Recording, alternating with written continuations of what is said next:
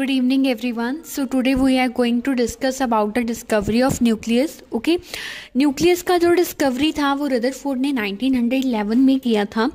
तो रदरफोर्ड ने ये जो डिस्कवरी किया था, ये किसके बेसिस पे किया था? ये जो स्केटरिंग ऑफ़ अल्फ़ा पार्टिकल की एक्सपेरिमेंटल ऑब्जर्वेशन आई थी, उसके बेसिस पे न्यूक्लियस का क्या हुआ था? डिस्कवरी हुआ था, ठीक है?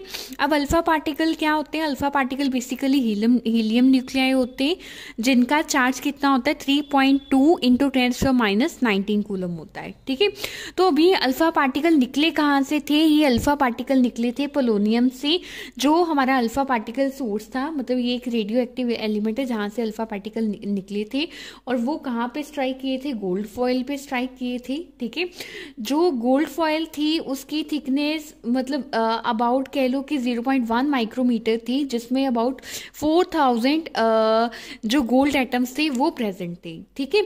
तो बेसिकली रेडियो एक्टिविटी सोर्स से अल्फ़ा पार्टिकल निकले थे, वो स्ट्राइक हुए थे गोल्ड गोल्ड फॉइल पे। और जब वो गोल्ड फॉइल पे स्ट्राइक हुए थे तो उसके साइड पे क्या लगा था? जीएम काउंटर लगा था, जहाँ से वो उसको क्या कर रहा था? अल्फ़ा पार्टिकल्स को कैच कर रहा था। देखो, कुछ इस तरह का ऑब्जर्वेशन था। ये यहाँ पे इसके अंदर रेडियो एक्टिव एलिमेंट रखा हुआ है। ठीक है? सो यहाँ से क्या निकल रही है? एक बीम निकल रही है अल्फ़ा पार्टिकल की। यहाँ पे गोल्ड फॉयल थी ओके और यहाँ पे ऑब्ज़र्व किया जा रहा था कि अल्फ़ा पार्टिकल किधर को जा रही? स्टेट जा रही है या डिफ्लेक्शन हो रही है?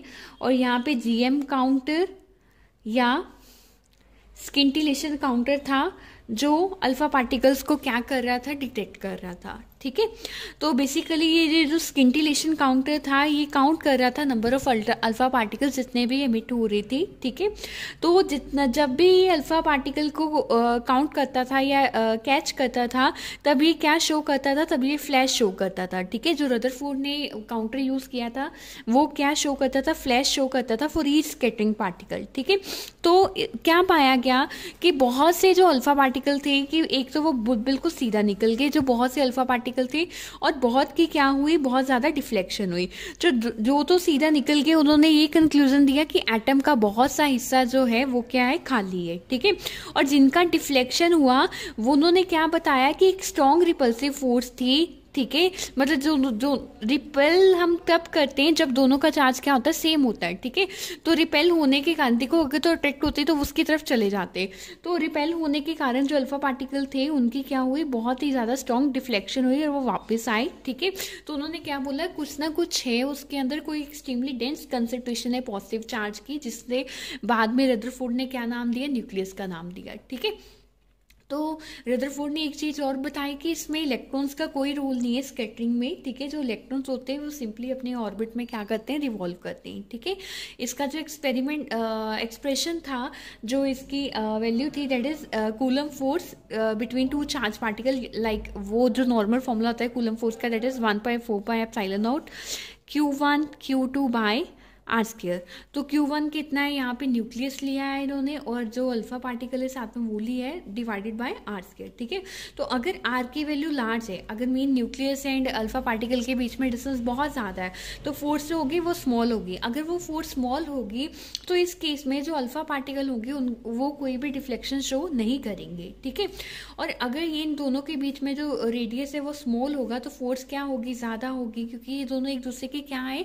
इनवर्सली प्रोपोर्शनल है। ओके तो इस केस में अल्फ़ा पार्टिकल क्या करेंगे? Deflection strong strong deflection show करेंगे। मीन एक दूसरे को रिपेल करके वो क्या जाएँगे? बैक जाएँगे, ठीक है? उसके बाद है देखो ये कुछ प्रॉपर्टीज़ है न्यूक्लियस की। जो न्यूक्लियस होते हैं, उनका क्या होता है? पॉजिटिव चार्ज होता है, जो इक्वल होता है जेड के ठीक है? Where Z is the atomic number and E is the charge okay जितना भी मास होता है एटम का, वो किसमें माना जाता है कि कंसिडरेटेड है? न्यूक्लियस में कंसिडरेटेड है, ठीक है? जो न्यूक्लियस होते हैं, वो क्वाड्रोपोल मूवमेंट भी एग्जिबिट करते हैं और आ, हम ये मानते हैं कि इनका स्फेरिकल शेप होता है पर ऐसा नहीं होता। कई बार ये स्लाइड डिपार्चर भी शो करते हैं स्फेरिकल शेप से और इनकी जो साइज़ साइज़ होता है न्यूक्लियर का that is ten raise to power minus fourteen to ten raise to power minus fifteen metre okay so this is all about the discovery of nucleus that is given by Rutherford in and nineteen hundred eleven